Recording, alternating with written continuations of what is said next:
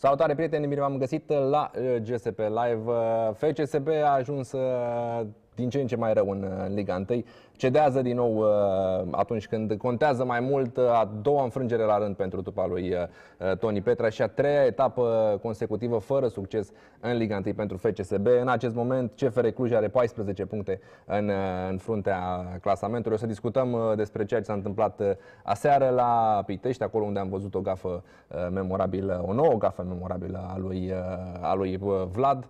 Discutăm și despre cum arată lupta la titlu în acest moment și evident ce se mai întâmplă Uh, cu ultimul loc din, uh, din play-off uh, care va fi disputat între FC Botoșan și FC Argeș și vorbim și despre tensiunile de la Rapid, acolo unde Adi Mutu a început cu un scandal, de fapt cu două scandaluri. Primul a fost la conferința de presă acolo unde a fost deranjat puțin de întrebările ziariștilor prezenți la conferința de presă și al doilea a fost la primul antrenament acolo unde mai mulți suporteri au venit pentru a-l împiedica pe Eduard Stăncioiu, cel care ar fi trebuit să ocupe funcția de antrenor cu portarii, să rămână în club. Discutăm despre toate aceste lucruri cu antrenorul Marin Barbu. Bună dimineața, domnule Barbu!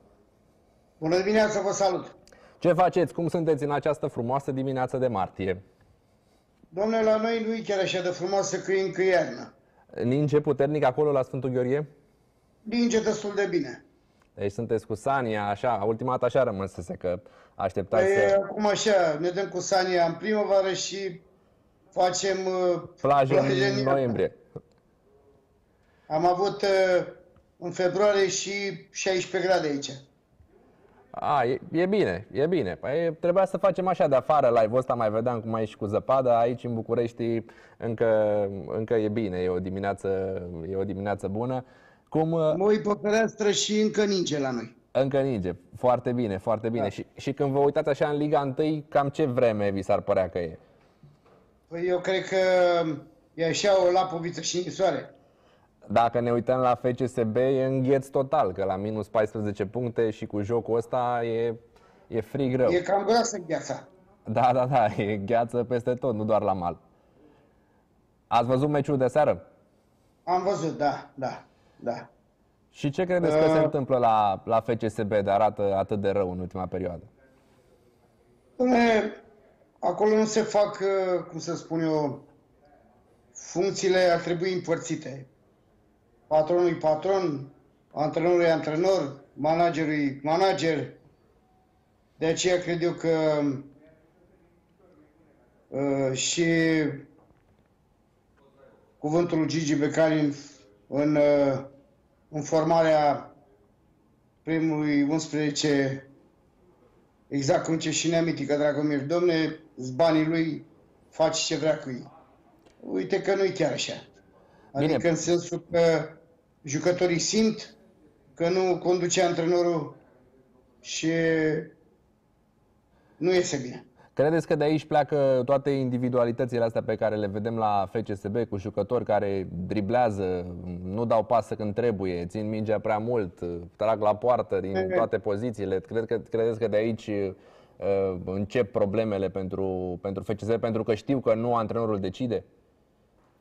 Uh, dacă stăm bine și ne gândim, vezi și tu, și în junglă, haita de lup, dacă nu are stăpân, uh, nu e bine.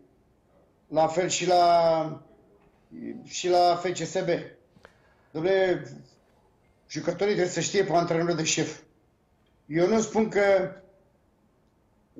mai toți patronii să bagă în uh, cât un pic, cât un pic la echipă, dar uh, o fac așa subtil, nu știe nimeni, între patroni cu antrenorul, să consultă, decid împreună, pentru că ați văzut, nu știu care antrenor a, chiar Mourinho a spus, domne, și Abramovic s-a băgat uh, uneori la echipă.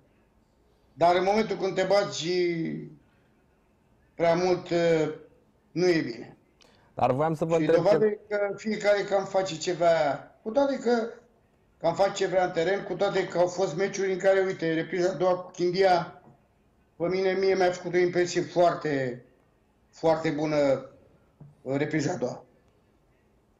Voiam să vă întreb, apropo de uh, implicarea patronului, totuși uh, înțeleg uh, că s-ar implica la schimbări, poate și în alcătuirea uh, primului 11, dar totuși un antrenor care lucrează zi de zi cu, că bănuiesc că Gigi Becali nu vine și la antrenamente.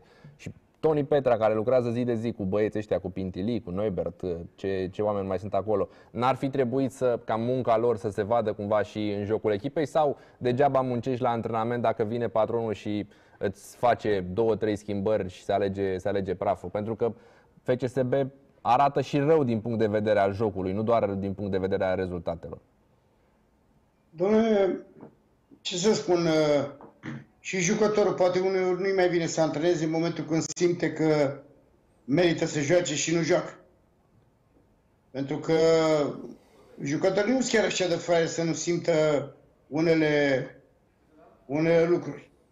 Dovadă e și de aici este că sunt unele probleme de, de disciplină în cadrul jocului.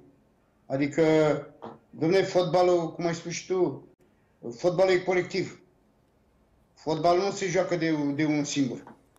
Și cred eu că cam de aici pornesc toate lucrurile. La Vedeți, de... la, la echipa lui Hagi de ce are stăpân? Pentru că decide antrenorul un singur om, cine mișcă, nu mai mișcă. Antrenorul și patronul în același timp la acolo. la, el deocamdată e antrenor, noi vorbim de antrenor. Nu? Acolo jucătorul când a călcat pe bec, ca doar nu mai calcă. Și fiecare luptă pentru un loc în echipă și cel care îl merită, cu adevărat, joacă. Cum vi se pare tratamentul ăsta, vedem și acum uh, câteva poze, l-am văzut și pe Cheșeru, cum vi se pare tratamentul la care e supus uh, Claudiu Cheșeru, un om important, uh, un nume important, important pentru fotbalul românesc, ok, a ajuns și el spre final de carieră, ar merita mai mult respect sau... Domnule, e indiferent că se numește Cheșeru, că se numește nu știu cum, fiecare fotbalist în felul lui trebuie respectat. Eu nu, dacă aș fost patron, aș fi avut o discuție cu cheșerul și aș spune, băi, tată, poate nu mai poți 90 de minute. Hai să vedem cum facem în așa fel să te folosim, să-ți folosim experiența ta atâta timp cât poți. Eu cred că cheșerul, cel puțin o repriză, 60 de minute, ar mai putea da un randament uh, foarte bun pentru că este un puncier, este un jucător cu, cu, cu experiență. Cumva sunteți pe jumătate de acord cu Gigi Becali, el spunea că asta ar fi motivul pentru care Cheșerul nu mai joacă, pentru că îl simte că nu, că nu mai poate, sau mă rog, că în ultima perioadă n-a mai putut. Hai să fim serioși, dacă un fundaș mai e cum mai e la un înaintaș, e greu să dea la 36 de ani aceleași randament care îl dă la 28 sau la 29 sau chiar 30, 31. Deci uh, ar, trebut, ar fi trebuit să aibă o discuție cu el, dar cam jumătate, da, cam așa e. Cred că... Dar ar trebui să folosească de experiența lui. Cred că au avut câteva discuții. Asta e ciudat că nimeni de acolo nu, nu se gândește că ar putea fi de folos cheșerul chiar și așa Uh, cu o viteză, sau mă rog, cel puțin o viteză mai puțin decât în perioada lui uh, foarte bună. Voiam să vă mai întreb apropo despre meciul de, de aseară și despre jucători, așa să-i luăm parte. să-ți mai spun ceva. Da, da, da. Cheșerul nu trebuie să alerge ca nebunul. Cheșerul trebuie să stea în gura porții. Un vârf de atac, un vârf de atac asta face. Nu trebuie să fugă pe, pe tot terenul. Dar acolo, când trebuie să-și pinteze, când trebuie să atace colțul scurt, când trebuie să, să fie în fața porții, trebuie să fie acolo. Apropo de, de asta, l-am văzut pe Cheșerul totuși și din postura de servant cu Chindia, că vorbeați că v-a plăcut a doua repriză, a intrat, a dat și o pasă de gol și a mai uh, dinamizat atacul, dar și în meciul acesta, după ce a intrat, i-a dat o pasă de gol teoretic lui Florinel Coman, dar Florinel Coman nu prea mai poate momentan, nu, nu reușește să găsească așa drumul către, către gol. Dom'le, știi cum e și cu Florinel Coman? Ce semene colegi.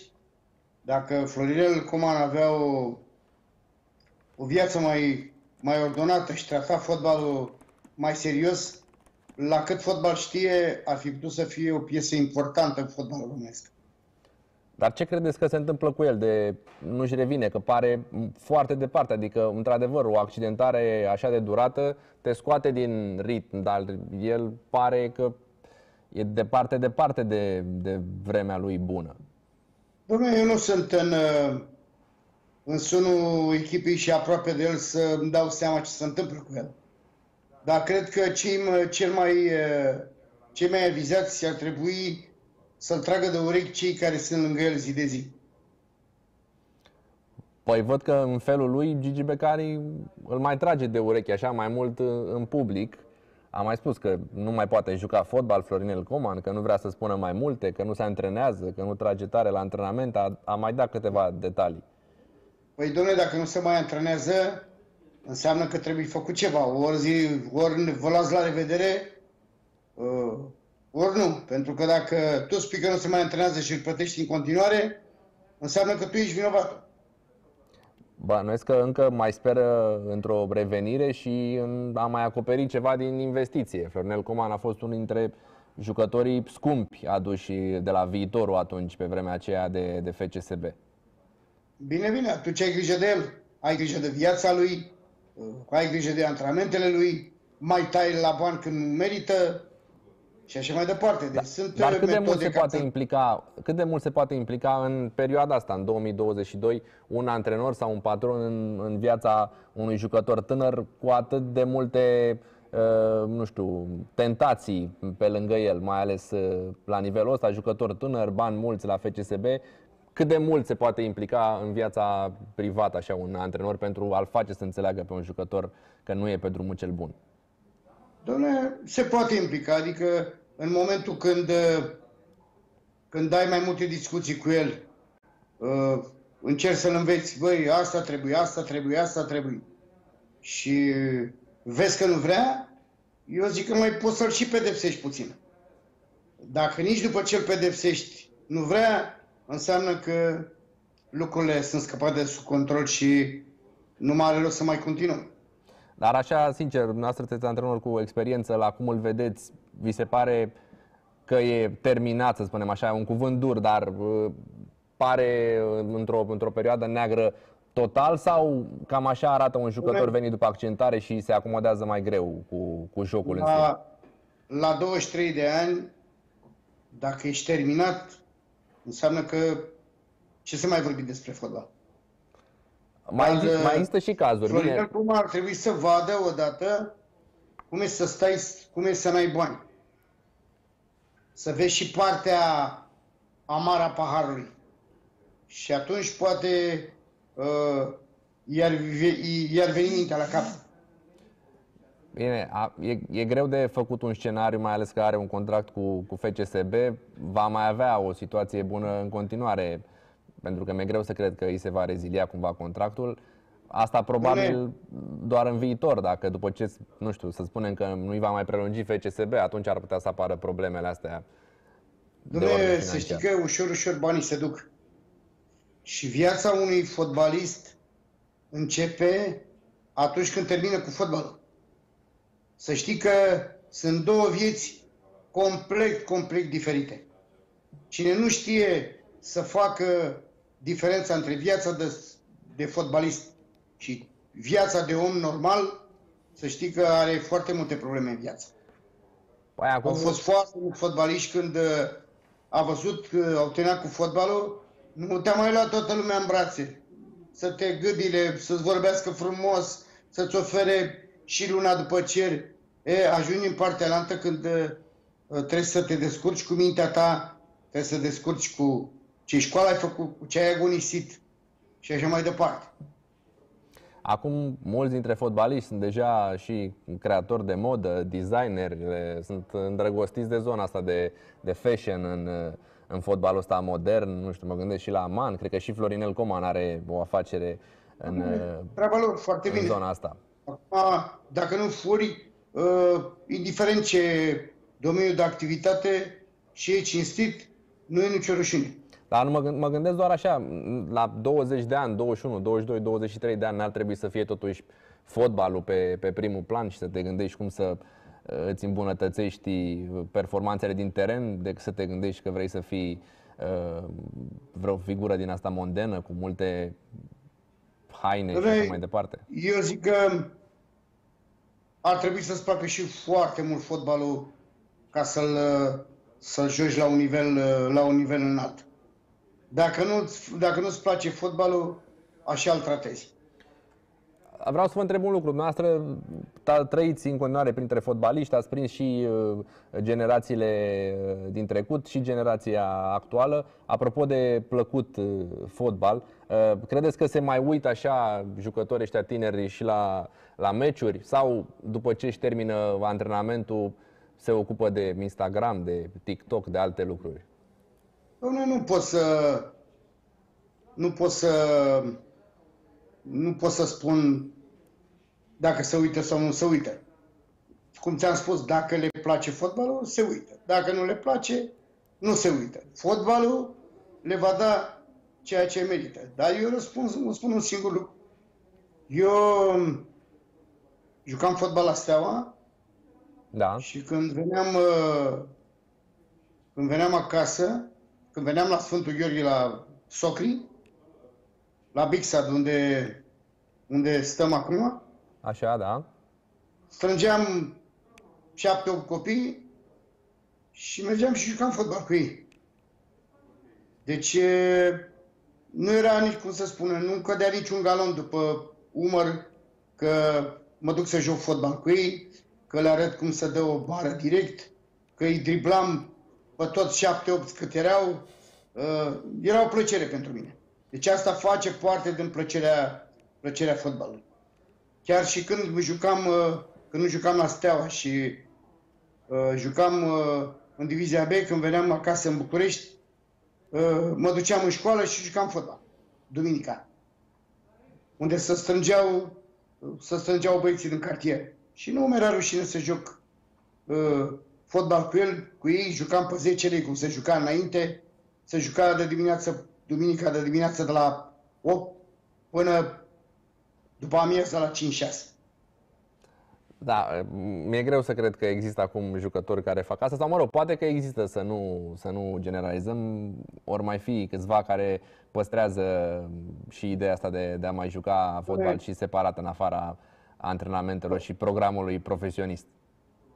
În timpul comunismului, cum au fost comuniștii așa de nenorociți în, ghimile, în ghilimele, Doamne, toate școlile în ziua de repauză erau deschise pentru sport. Că unii jucau fotbal, că unii jucau tenis, că unii jucau tenis de masă, că unii jucau basket. Deci școala era deschisă pentru sport. Acum, dacă te duci la o școală sau la curtea unui liceu, vezi niște, niște lanțuri și niște lacăte proporți, de nici și pompierii nu poate să le mai să le mai dea la o parte. Deci cam aici e diferența. Da, corect. Și asta, și asta e o remarcă foarte bună. Nu se mai poate juca, au rămas doar, doar, a rămas doar varianta terenului sintetic, să, să mergi să, să-l închiriezi. Poate că și de aici, uh, nu știu, tinerii, copiii nu mai sunt îndrăgostiți atât de mult de, uh, de fotbal. Uh, vreau să vă mai întreb și despre Octavian Popescu. L-am văzut Noastră vă plac jucătorii mingicari, erați un fotbalist uh, îndrăgostit de, de minge. Așa pare și Tavi Popescu acum. Nu-mi dau seama însă cât e de bine și cât e de rău, că bănuiesc că e o limită așa sensibilă între a ține de minge cu folos și a ține de minge până o pierzi și până a rata oportunități de a pasa și a strica, și a strica faze. Domnule, la vârsta lui, uh, să știi că și eu am avut momente de astea în momentul când ești prea, prea, prea mult lăudat și scrie ziale prea mult de tine și uh, se scrie că valorezi atât, că te curtează ăia, că vin ăia. Domnule, la un copil de ăsta, mai ales că n-am privit nici 20 de ani, uh, îți ia Dumnezeu mințile, domnule.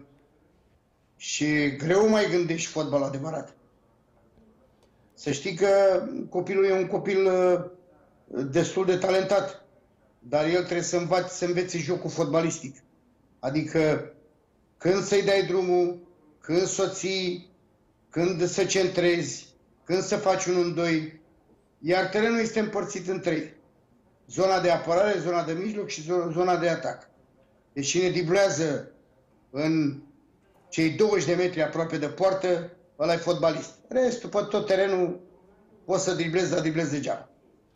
Poate că la Tavi Popescu, pe lângă celebritatea asta și pe lângă faptul că îi apare numele des prin, prin ziare și pe la televizor, poate că la el apare și această nu știu, imagine pe care o creează Gigi Becale și statut pe care uh, i l-a impus Gigi Becale la echipă. Tavi Popescu e un jucător care joacă de cele mai multe ori tot meciul, e titular indiscutabil, se vorbește despre 100 de milioane. Mă gândesc că îți cam vine să faci ce vrei dacă știi că antrenorul nu te poate scoate. Că și dacă driblează de 5 ori, driblează și portarul și ratează, cine să-i zică ceva dacă, dacă el are postul asigurat? Mă gândesc că și aici poate uh, și de aici anumite decizii mai complicate și mai greu de înțeles. Dom'le, e un cuțit cu două tăișuri. Adică prea multe laude și prea mult elan poate să strice, dar în același timp omul vrea să-și promoveze marfa. Pentru că dacă stăm bine și ne gândim, chiar Gigi a spus că pe el nu-l interesează, să spun, mari performanțe, îl interesează să, să, să câștige bani fotbal. Dar pentru un, Dar, fotbal, pentru un fotbalist, cum e, cum e mai bine? Să aibă locul asigurat, locul cald în primul 11 sau să aibă concurență? În fotbalul mare se vorbește despre concurență, că această concurență te face să devii mai bun. Când, când nu dă randament, mai trebuie să arăși pisica. Dacă nu, dacă știm și dacă stăm și ne gândim, Până și Hagi, când avea jocuri mai modeste la națională, mai era schimbat. Și dacă el valorează uh, 100 de milioane sau 50 de milioane sau 40 de milioane, păi atunci Hagi la vârsta lui cât, uh, cât uh, putea să valoreze.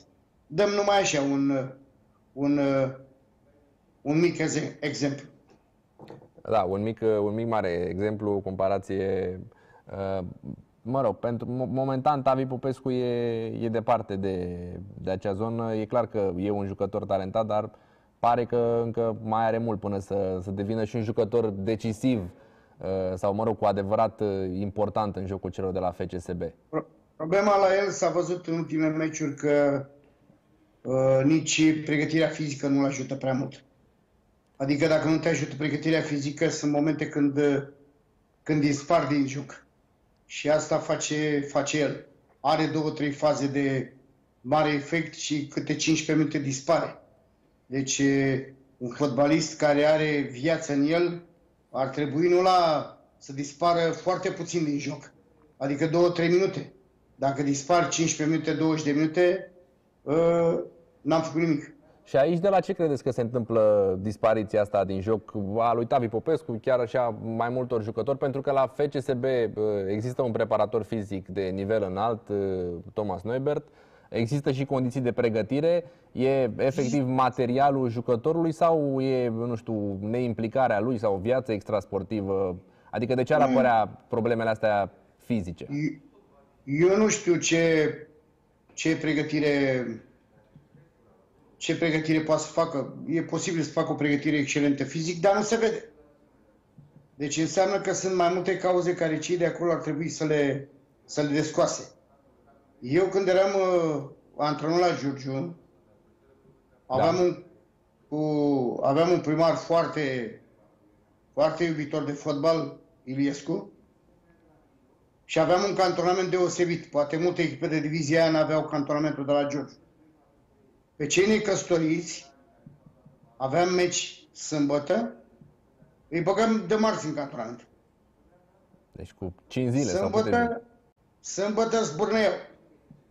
Când îi băgam cu o zi, două în cantonament, deja gata. Îi vedeai că dă din cap, că respiră greu și așa mai departe. Și eu cred că e posibil și viața, viața sportivă să aibă o cauză, pentru că ale dracu fete frumoase se duc numai la băieții cu lovele. Să nu crezi că uh, o femeie frumoasă va, se va arunca în brațele unui fierar betonist. Deci de aici femeile frumoase sunt uh, problema pentru, pentru jucătorii pentru mulți, pentru mulți fotbaliști. Da, e, e posibil. E, în anii trecuți, mi-aduc aminte că se mai tot vorbeau despre bombe sexy prin, prin jurul fotbaliștilor. Bănuiesc că și acum există și au mai schimbat denumirea. Sunt de ce o bombă sexy acum. Nu, nu, nu se lipește de unul care iese după șantier?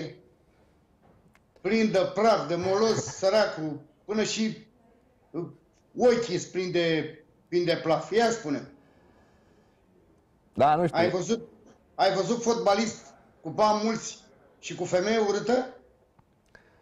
Uh, nu știu, mă rog, e și o chestie de, de, de gust acum, fiecare cum, cum își alege. Pănuiesc că ori mai fi, ori mai fi și cazuri, mă rog, dacă nu cu femei normale. Unii au uh, alt tip de, de preferințe, dar mă rog, asta poate să fie una dintre cauzele jocurilor mai puțin uh, susținute, așa, sau mă rog, efortului mai puțin susținut din timpul unui meci la, la fotbaliștii din, uh, din Liga 1. Alții, de exemplu, cum erau cazul lui Denis Alibec, erau cu genunchii mai moi pentru că jucau Counter-Strike toată noaptea. Există și varianta asta de, de jocuri. Odihna face parte din, din activitatea sportivă. Da? Și eu când m-am, eu unul când m-am căsătorit, nu mi-am luat nici handbalistă, nu mi-am luat nici actriță, nici cântăreață. Am luat o fată simplă de la țară și, și am avut noroc. Ați, ați luat special uh, în ideea de a rămâne concentrat la fotbal sau? Dom'le, așa, așa mi-a, mi-a, cum să spun, uh, așa mi-a plăcut mie, că dacă stai bine și te gândești, cam toți care și-au luat cântărețe și actrițe n-au făcut casă împreună, decât foarte puțin. Da, un alt, un alt mod de viață acolo, un alt, un alt stil. Vreau să vă mai întreb despre un alt jucător de la FCSB, uh, despre Andrei Vlad. De ce face un portar o asemenea greșeală cum a făcut uh, Vlad aseară? Lips, lipsă de concentrare, nu știu, se întâmplă ceva, portarii mai ațipesc din când în când. Pentru că... Doamne, dacă Vlad era, în primul rând, de lipsă de concentrare. Dar dacă Vlad mai era și schimbat după gafele care le-a făcut, eu am văzut la FCSB un copil care apăra la Sfântul Gheorghe, dacă nu mă șel, Târnoveanu sau cam așa ceva. Târnovanu, da. Târnoveanu. Dom'le, să știi că copilul ăla le-a scos un punct la FCSB la Sfântul Gheorghe. A apărat extraordinar. V-a supărat atunci. Dacă, uh, eu, dacă eram antrenor, următorul meci nu-l scoteam de poartă. Iar în, moment, în momentul când uh, Vlad mai, o mai comite, trebuia imediat să stea și el pe margine. Să mai reflecteze. Așa în momentul când, uh, când știe că e titular uh, permanent, indiferent de greșeală, uh, nici, cum să spun, nici concentrarea nu poate să-l ajute, nici implicarea în antrenament. Păi e același lucru despre care vorbeam și în cazul lui Tavi Popescu. Dacă știe că are locul asigurat în echipă... Da, da, cam așa e. Cam așa e. Dar uh, eu nu vreau să-l îngrop pe, uh, pe Vlad, că are și calități bune. Au fost momente când a apărat și, și foarte, foarte bine. Dar uh, acea concentrare și implicarea în antrenamente poate trebuie să fie și mai, și mai mare. Îl vedeți acum tras din nou pe... El a mai avut perioade, Vlad, în care după anumite gafe uh, era scos din poartă de, de Gigi Becali, acum a fost scos la pauză și e clar că e o schimbare uh, dictată de Gigi Becali. Bănuiesc că un antrenor nu schimbă, nu își pierde o schimbare uh, scoțând portarul la, la pauză, mai ales că Dom'le, aici, după n-a mai făcut și alte gafe. Aici îi dau dreptate lui Gigi. Foarte bine că l-a schimbat. Să mai vadă și el ce înseamnă să cum să spun, uh, să vadă că pur și simplu e o milință. Și de o parte și de alta. Deci să vadă și el ce înseamnă, cum să spun, să sufere puțin când, uh, când greșește. Că e o greșeală, cum să spun, nici de curtea școlii nu poți să o numești. Hai că mai spui, trage și unul șut la poartă, puternic, scapă mingea din mână, mm, înțelegi, dar, băi, tăticul, ai mingea la picior, și nu ridici capul sus, și tu i dai lui ăla, cum să spun eu, nu mai spui, ia bă și bate-le. Da, a fost o fază ciudată. A părut că vrea să dea o pas, apoi a încercat să oprească cumva mingea și... I-a piciorul și gata. Da, da, da, se, se, se mai întâmplă așa la, la portar. Bine, nu atât de des, evident, că altfel am fi văzut numai faze din asta, dar gafele, pare așa, o gafă tip. Dacă portarii nu scapă la un șut, mai fac faze din astea cu, cu pase direct la adversar. Mai apar, cred că, momente din astea în care li se totuși la, așa. Totuși la valoarea și la salariile care le primesc cei de la FCSB și dacă au marcat ei primii, treia să, cum să spun eu, treia ca FCSB-ul să, să impună. Uh, vreau să vă mai întreb, n-a jucat aseară, dar uh, voiam să vă întreb, uh, pentru că toți suntem la discuția despre FCSB, de ce credeți că nu se transferă Florin Tănase în nicio perioadă de transferul, nici după ce e golgheter, nici după ce joacă bine, prost, nu reușește deloc să plece de la FCSB? Domnule Tănase e un fotbalist care îl duce mintea. Dar Tănase face niște, cum să spun, niște greșeli de copil. La Are ce, momente când, când și el dispare din joc. Are momente când pierde mingea, se oprește, dă din mâini. Înțelegi? Dacă joci în Italia sau în Spania, o dată face așa. A doua oară nu mai face. Eu cred că ar trebui să și el să ia în serios uh, mai mult activitatea fotbalistică. Pentru că trece anul, trece anul, și îmbătrânești și, cum să spun, nu mai poți să te transferi. Da, eu cred că poate nici el nu vrea să plece pentru că eu zic că are un salariu de, de nivel european, adică să câștigi în jur de 360.000 de euro pe, pe an. Eu spun că e un salariu care ai putea să-l primești și în Belgia, și în Olanda, uh, chiar și în Spania. Deci are și un salariu bun care poate nici nu-l face uh, să-i dea prea multă ambiție uh, pentru a pleca. O cade, el, o cade el că e un fotbalist care o bagă și în poartă, poate să și, și dribleze, are și serviciu bun și fizic frumos.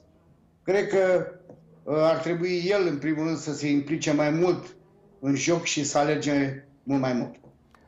Uh, legat despre situația lui uh, Toni Petrea, cel mai probabil dacă nu va lua titlul și se pare că FCSB nu va lua titlul nici în acest sezon la cum arată lucrurile, uh, Toni Petrea ar urma să, să plece. Gazeta Sporturilor a scris că Gigi Becari îl vrea pe Ilie Poenaru, Meme Stoica l-ar dori pe, pe Marius Croitorul de la FC Botoșani. Bă, cum îi vedeți? Cine ar fi mai potrivit? Dragul meu, indiferent ce vin, cine vine, eu spun că nu va comanda el și va comanda tot stăpânul. Deci, indiferent deci, de numele antrenorului, va fi același poate, lucru la FCSB. Poate nu e cel mai vinovat uh, 100% uh, Toni Petrea. Păi atunci înseamnă că FCSB nu mai a niciodată campionatul, nu? Dom'le, uite că până acum Cam așa a fost. Să Bun. nu uităm că acolo, indiferent uh, ce se întâmplă, că sunt uh, și mulți acționari, uite că la echipă, de bine de rău, Dan Petrescu e stăpân. Au avut și, și niște momente la începutul sezonului de, de haos, nu. cu Șumudică, Au avut, dar le-au spălat acolo între ei. Înțelegi? Nu prea au ieșit de impresia să dea în ăla, în ăla, în ăla și așa mai departe. Uite, de exemplu, uh, la Sfântul Gheorghe, când au jucat acum două etape, da. au câștigat cu 2-0 o victorie care, spun eu, poate să supere cine vrea, cam n-a fost meritată. Dar a câștigat prin pragmatism și experiență. Și prin niște greșeli acolo pe la echipa noastră, prin demarcaj, au fost câteva la, faze, la fazele nu, Nu, nu, nu, nu. Deci primul gol, stai puțin, Primul gol a fost un șut de la 20 de metri și al doilea gol a fost dintr-o fază fixă. Deci eu n-am mai... Nu știu dacă CFR Cluj a mai avut o ocazie de gol. cel puțin uh, prima repriză, dacă era 3-0 pentru Sfântul Gheorghe, nu s-a supărat nimeni. Bine, până la urmă, asta e stilul lui Dan Petrescu.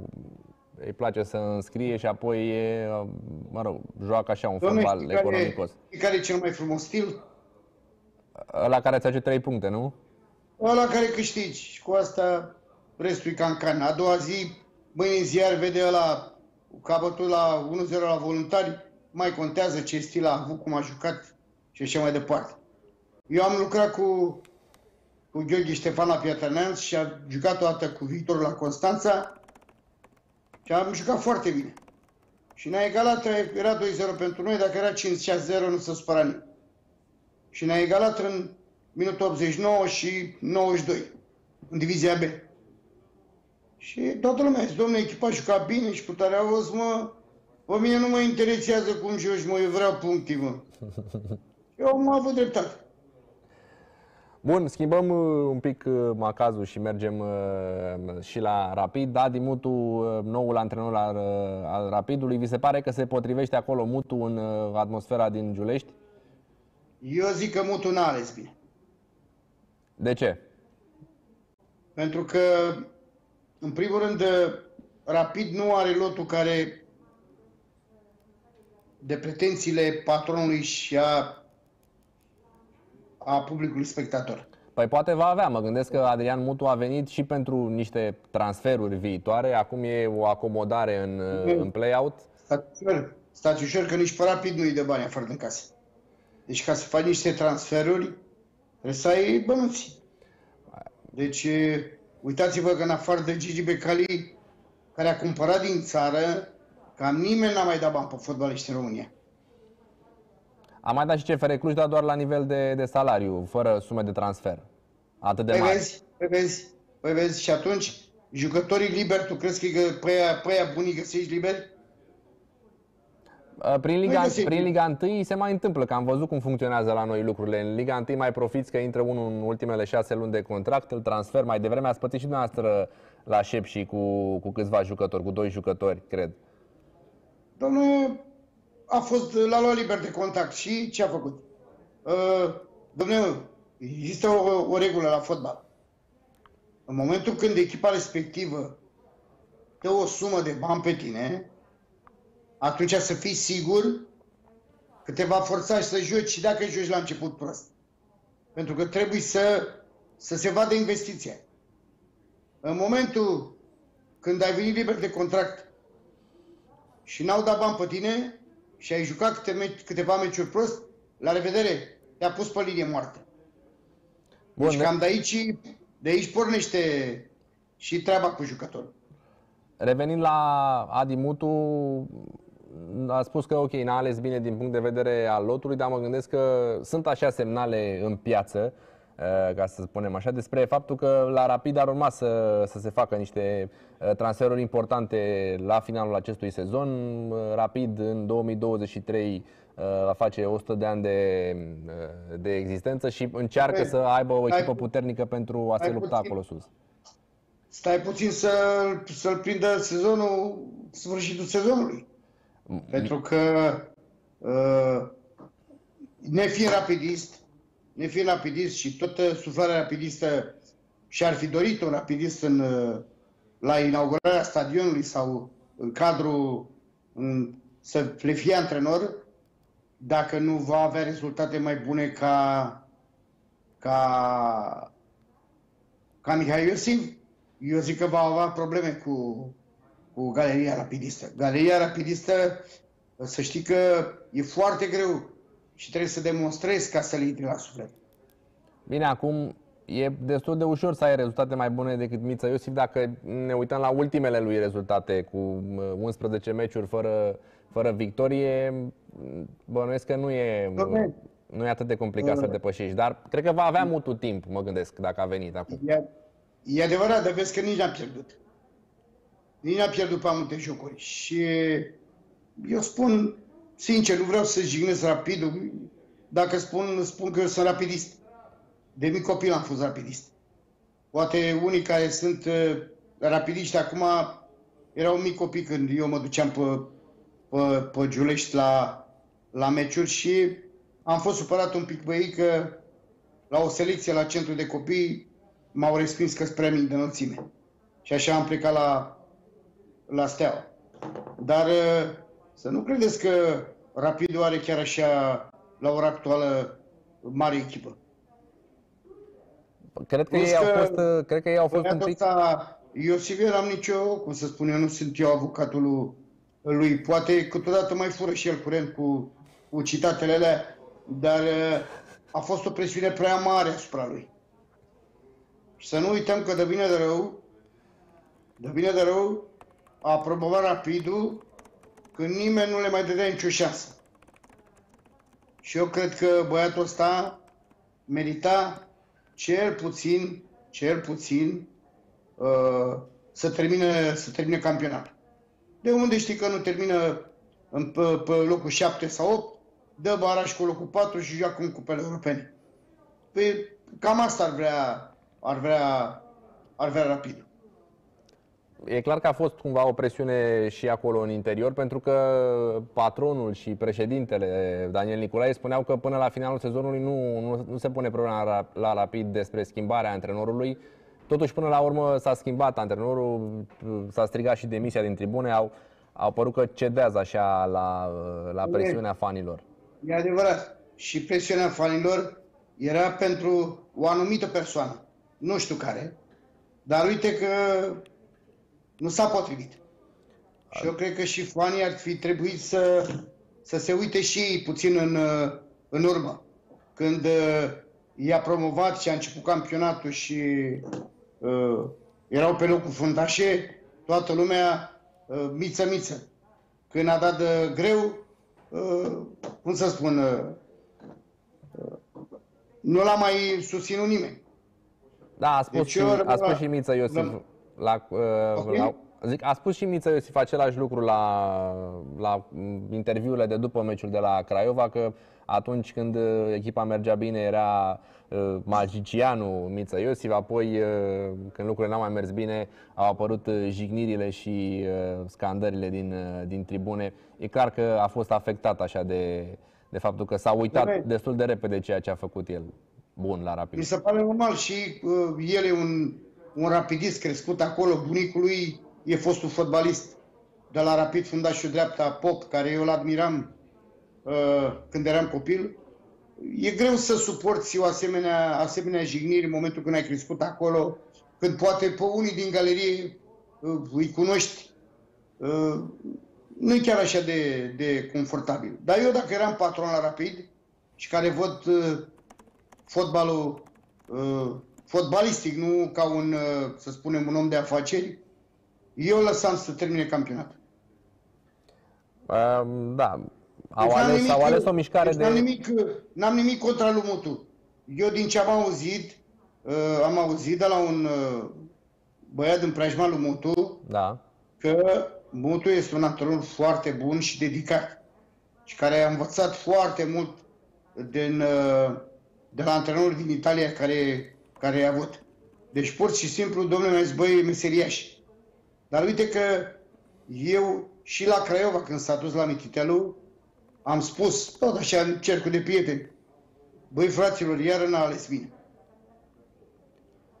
Da, pare că nu face așa alegerile cele mai bune momentan. Bine, și de la începutul carierei a fost la voluntariarea să retrogradeze, s-au salvat la acel uh, baraj cu Chindia Târgoviște la, la penalti. Eu dacă eram în locul lui, eu dacă eram în locul lui, ori luam o echipă bună, ori dacă nu rămânem la Under 21.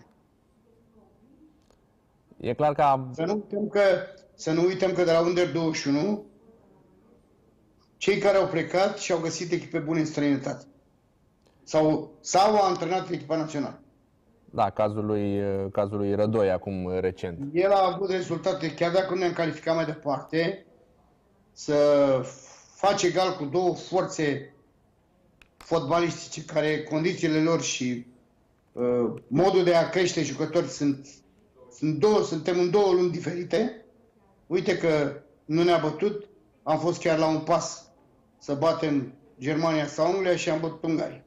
Deci sunt niște, eu zic că sunt niște rezultate, rezultate notabile.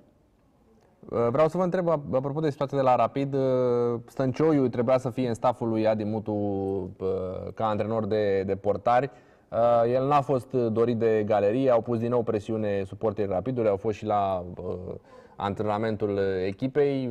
Până la urmă Stăncioiu a cedat și a spus că nu va mai merge la, la Rapid. E normal să se întâmple astfel de, de lucruri sau cum ar trebui în primul rând să gestioneze Mutu această intervenție, practic, și implicarea suporterilor, pentru că în echipul, ei erau și prieteni buni, sau mă rog, sunt prieteni buni, Mutu și Stăncioiu, ar fi avut acolo câteva planuri, mă gândesc. E clar că a început cu stângul, unul dintre oamenii pe care se baza să nu fie dorit de, de suporteri și să renunțe la, la postul din staful lui Mutu. Domnul Stăncioiu a fost băiat deștept. Pentru că dacă rămâne rapid, la rapid, eu vă spun că începând de la încălzire, era jignit de suporteri. În lumea bună a fotbalului, așa ceva nu se întâmplă. Indiferent că ai jucat în, la adversar și ai venit antrenor la, la noi, cum ar veni. Uh,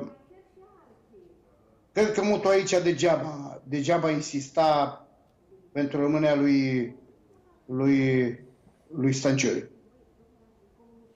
Dar, repet, uh, nu e normal ce, ce... Cu toate că, nu știu ce vorbe ar fi spus, ar trebui să, să se uite și să lăsăm, să lăsăm uh, omul să-și facă treaba și în funcție de evoluția portarilor să-l judecăm.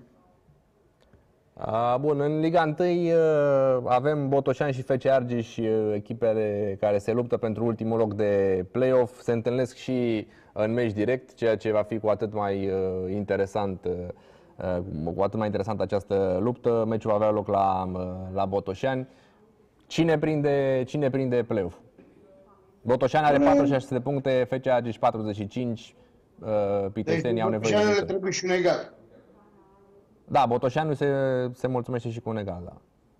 Domnule, este un joc uh, care pe care, dar dacă stăm bine și ne uităm că Botoșanu are două, două șanse din trei, nu? Eu cred că Botoșanu e favorită. Dar cum la fotbal se poate întâmpla orice, nu putem să, să nu-i dăm, cum să spun eu, și fecează și lui ce al, ce al lui dacă stăm bine și ne gândim, cine îi dădea șanse FC Agișului să câștige la, la viitor? Uh, da, nici măcar oamenii de acolo, din conducere. Mă gândesc că până mai acum câteva etape, primarul din Pitești voia să-l dea afară pe, pe Prepe. Noi aici chiar am vrut uh, să, să atingem subiectul ăsta. Domnule, atât, chiar dacă n-au licența pro, chiar dacă n-au licența pro, uh, și Iosif și în special uh, Prepeliță, domnule, au făcut niște lucruri bune. Uh, să nu crezi că și FC și au un lot extraordinar de mare scule de fotbaliști. Dar prin muncă, prin seriozitate, ceea ce cred că totul pleacă de la antrenor, uh, sunt unde sunt. Pentru că dacă te uiți bine și vezi jocul Feceargișului, e un joc bine organizat, e un joc colectiv, e un joc care fiecare jucător știe ce are de făcut, e un joc disciplinat. Și aici, cum încă o dată spun, uh, e și meritul jucătorilor, că au înțeles, dar în special e, e meritul, meritul antrenorului. Acum pe, pe gsp.ro uh, avem o știre despre Alexandru Cicâldău. Ar putea pleca de la Galatasaray. Uh, e o ofertă de la Sampdoria, se pare, din, uh, din Seria. 10 milioane de euro ar vrea să dea Sampdoria. E de bine că e dorit în Seria sau ar fi de rău că pleacă așa repede de la, de la Galatasaray, unde nu prea a făcut mare lucru? Bine, nici n-a avut timp, poate că nici nu s-a acomodat prea bine. Dom'le, eu le-am spus, eu am spus de la început, că e foarte greu lui Moruțan și lui Cicăldos să se, să se adapteze în fotbalul turc. Fotbalul turc îl vedem noi cum îl vedem la fațadă. Dar să știți că e un fotbal foarte greu. Un campionat foarte greu. un campionat care, care trebuie să, să fii foarte, foarte, foarte bine pregătit fizic. Un campionat în, în care să bagă piciorul și să joacă destul de dur în, în joc. Deci cred că poate campionatul italian e posibil să, să-i priască mai mult lui, lui Cicăldău. Moruțan până nu, până nu se va pregăti mai bine fizic și nu va ști când să dea drumul la minge, va avea viață grea în, or, în orice campionat. Pentru că el să, trebuie să înțeleagă că nu mai joacă în România cu Clinceniu, cu uh, gaz metan, cu echipele mai din spate sau chiar și cu alea mai fruntașe, unde, unde mai puteai să faci o șmecherie. Acolo nu ține. Acolo, dacă n-ai și pus că, domne, trebuie să dai lapte în fiecare meci în Turcia. Pentru, pentru că au o presă devastatoare. Ori te ridică în slăvi și ești rege, cum a fost Hagi, dar stai ușor, că și pe Hagi a avut momente când a fost uh, criticat, criticat, că dacă nu, te-au pus la zid și nu te mai spală nici Dunărea de criticele lor. Uh, bun, spuneți că ar fi mai bine pentru Cicâldău poate să, să ajungă în uh, Seria, dar acolo am mai avut noi, uh, bine, avem încă un jucător pe uh, Mihailă la Atalanta, mai avem și pe Chiricheș la Sassuolo sau Stefan Radu la, e un fotbal, la Lazio. E un fotbal mai organizat. E un fotbal mai organizat care nu, nu mai e chiar așa de dur cum era înainte. Se joacă fotbal, dacă stați bine și vă uitați. Poate mai sunt vreo două, trei echipe care dă la, care dă la oase. Restul, toată lumea încearcă să joace fotbal. Și poate, Cicăldău, care tehnic uh, nu avem ce să-i repărșăm, poate și el ar trebui să-și îmbunătățească capacitatea fizic, fizică, iar fi mai deprisos acel, uh, acel campionat. Cu toate că eu l-aș vedea în, în campionatul Spaniei, care e un campionat mai degajat, mai, mai fotbalistic, se joacă mai frumos. Dar apropo de campionatul uh, Spaniei, de ce nu avem și noi acolo uh, jucători? Dacă tot se joacă așa mai degajat și ne gândim noi că ar fi mai pe profilul jucătorilor noștri mai tehnici, mai puțin implicați în uh, dueluri fizice.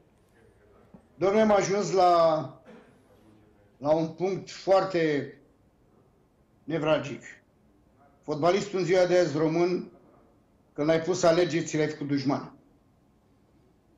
Deci, la noi nu fotbalul e problema. Vezi că când te duci dincolo, trebuie să și alergi. Și în momentul când vii în exact ce a zis și Hagi, domne, nu avem tempo, nu avem ritm. Deci în momentul când te duci acolo, poate nici la jumatea ritmului echipei nu ești. Și atunci îți trebuie un an, cel puțin un an de, de adaptare care, din păcate, atâta timp nu te mai așteaptă nimeni. Dovadă că, uite, și Răzva Marin, deci acum a început să vadă, să vadă că este un jucător exponențial a unei echipe din campionatul italian. Și câți ani are Răzvan Marin în campionatul italian? Acesta e al doilea sezon, nu? Un sezon și jumătate. Dacă al nu al treilea. Dacă nu al treilea. Uh, da, o, o să vedem oricum, nu, prima, de prima dată, prima lui uh, atingere cu fotbal, cu fotbalul italian n-a fost una chiar atât de, uh, de bună. Atunci când a venit de la Uh, de la Ajax s-a acomodat uh, mai greu. Bine, venea și după o perioadă în care nu prea a jucat. La... că și la Ajax a avut, uh, a avut probleme. Da, a probleme, probleme mult mai mari față Uite de ceea ce are acum la Cagliari. Dacă stai bine și te gândești la capitolul, la capitolul efort, cam toți jucătorii care au jucat la echipele bune au fost fotbaliștii lui Ceaușescu. Când atunci nu murea nimeni, tată, că alergi 12 km, că faci 3 antrenamente pe zi, că joci pe zăpadă, pe gloduri și uh, cum făceau și Steaua și toate echipele și noi mergeam în Poiană, Dumnezeu să odinească pe Costiclă Ștefănescu și ne ingherea 20 de zile în Poiana Brașov sau Pițurcă pe aia pe, pe, pe fotbaliștii stelei la Forban Uh, domnule, era altă, altă pregătire, era pregătirea rusească, care acum nu mai, domne, nu se mai face. Ce mai, că suntem comuniști. Nu mergem direct în Spania, mergem direct în Antalya, adio stagiu montan. Și să vede pe, să vede pe pregătirea fizică. Nu vezi că unul care a făcut 5 pituri înlățuite îi trebuie 10 minute să, să primească aer. Bun, mulțumesc mult, uh, domnule Barbu, pentru prezența în, uh, în emisiune astăzi.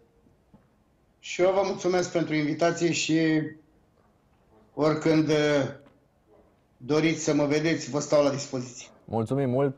Cam atât, prieteni, aceasta a fost ediția de astăzi de GSP Live. Nu uitați, rămâneți în continuare pe gsp.ro pentru a fi la curent cu cele mai importante informații din sport. Zi bună în continuare!